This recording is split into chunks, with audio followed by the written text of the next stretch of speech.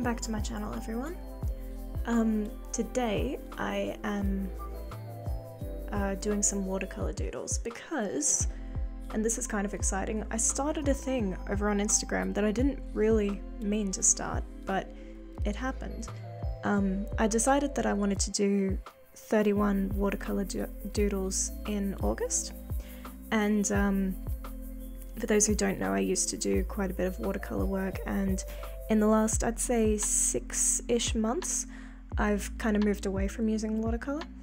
But I actually really enjoy using watercolor, and even though it is a little more of a tedious medium to get my paints out and get cups of water, and you know, you need a couple of things on the desk to do it, um, I feel like it is still one of my more favorite mediums.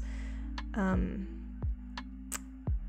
yeah, I don't know. There's something about it. It's just really relaxing to watch and to do, and yeah. So to get myself back into the habit of doing watercolor, I decided to do 31 doodles with watercolor in August, and this is not exactly a new concept. Obviously, Inktober exists.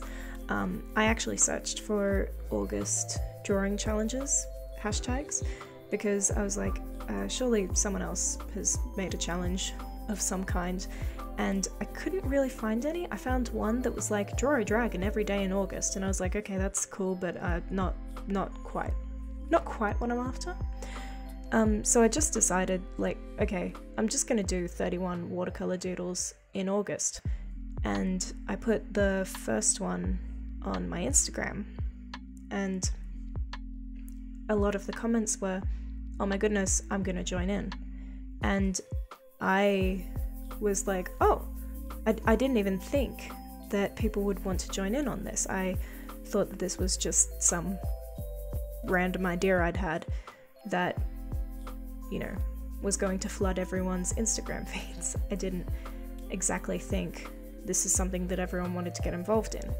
So I did a poll on my Instagram story to ask for some hashtag ideas because if you guys are doing this challenge, I want to see your work. And uh, I, I got some really good suggestions, and in the end, we wound up going with Mayhem Doodle because I feel like these are little mayhem doodles because whenever I am I don't know, whenever I'm watercolor painting, it calms me down so quickly. And the name Magenta Mayhem, obviously, that's not my real name, it's fictional. I made it up when I was about 16. I think I came up with it because I liked alliteration and I liked uh, the kind the way that it sounded kind of like a superhero and also I was trying to be a little more anonymous on the internet. Um, and I didn't want my families to find it at that point.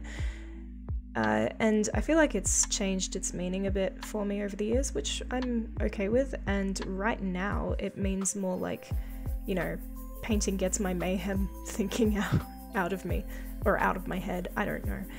Um, magenta mayhem can mean anything to you, but yeah, these are what. The, I feel like the hashtag mayhem doodle is kind of really fitting um, because, you know, it's just a doodle. You don't have to stress about it. Obviously, these little birds that I'm doodling in the video, I'm uh, giving them a little bit more effort because this is for a video. But I, you know, I just thought I'd remind you guys if you want to join in on this challenge, um, you don't have to do super great doodles. If you go over and look at my Instagram, they're not the greatest. They're definitely not my best work. But they are they are a bit of fun. And also, by the way, if you want to join in on this video, on this video, on this challenge, um, you can actually use the hashtag and at the end of the month, I'm actually going to choose all of my favorite uh, submissions of what people who have joined in the challenge, people who have used the hashtag, because that's the only way I'm going to see it, you guys. Um, and I'm going to put my favorites in a video, and yes, I will shout you out. So, if you want to be included in that, if you want to shout out in one of my videos, you need to join in on the challenge. It's going to be a lot of fun, I can already tell. And also, it's 31 doodles in August. It's not a doodle a day thing.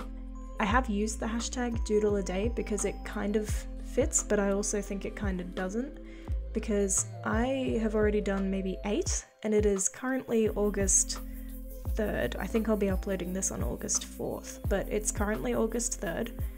Um, and I've done eight. So I I really do mean like this is a flexible thing. This is not Inktober. We are not freaking out. Uh, it's a very flexible kind of challenge. So yeah, definitely get involved with that if you are interested. And you can doodle with anything. You don't necessarily have to use watercolor. Um, I am using watercolor and dip pen because they are the two mediums that calm me down the most. Um, so that's why I really enjoy using them, even though they are a bit messy or a bit difficult to use, I guess, some days. Um, I don't know, I think they just require a little bit of practice. Uh, moving on though to something that I need everybody's opinion on. What do you think of the editing in this video? Because I, uh, I have realized that I really like videos that are not just speed paints. I like videos that are more real time. And so this video required a lot more editing. Um, but I'd say it maybe took around about the same amount of time as I usually spend on a speed paint because my computer is just, it doesn't take editing speed paints well for some reason. It doesn't take speeding up footage well. Um, so I, yeah, I don't know. I found this editing process even to be just really enjoyable. So if you like the different angles and um, things like that, let me know because I, yeah, I found it really enjoyable. And if you guys like it too, if it makes me look more professional, if we can trick people into thinking that I'm an actual art YouTuber, I think we'd be on the right track. So what do you guys think? Let me know in the comments below. Um, because I'm really open to feedback on my videos. Uh, I love making videos, but I will be the first to admit that I am not exactly the most skilled at creating content on YouTube. Um, I actually received a comment on the first video back, so the August bullet journal setup. Uh, and so many of you guys were so nice. Thank you so much for being so open and welcoming to let me back into the, YouTube art world. I don't know. Um, but I did receive a comment, and someone just said, you know, could be better. And I didn't really know what they meant. They didn't really uh, elaborate. And I did comment back, being like, oh, cool, how? And they were just like silent. And I was like, damn. Um, but I figured this could be kind of what they meant. Uh, a little bit less crappy lighting, a little bit more nice angles and close ups and actually having the camera in focus, you know, or having the, the subject in focus.